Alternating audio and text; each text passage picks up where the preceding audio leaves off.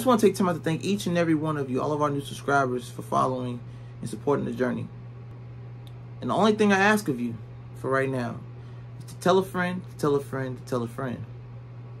If you want exclusive NBA and NFL content, as well as underground, unknown talents to get their shine, you come to the right place. GTASportsnet.com.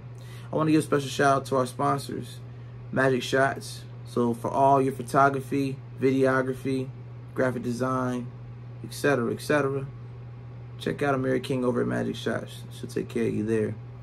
When it comes to gear, you want to support this channel?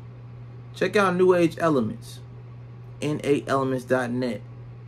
Make sure you get you some heat check gear.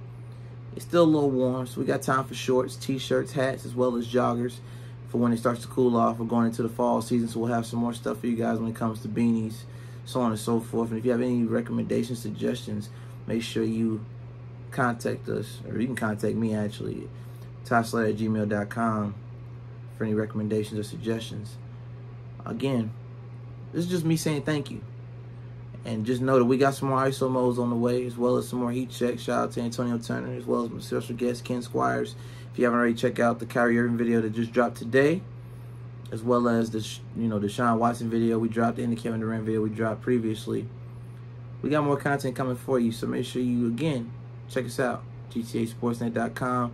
This has been Ty Slater here with GTA Sportsnet, GTA Sports Network, and GTA Heat Check. And until next time, take care.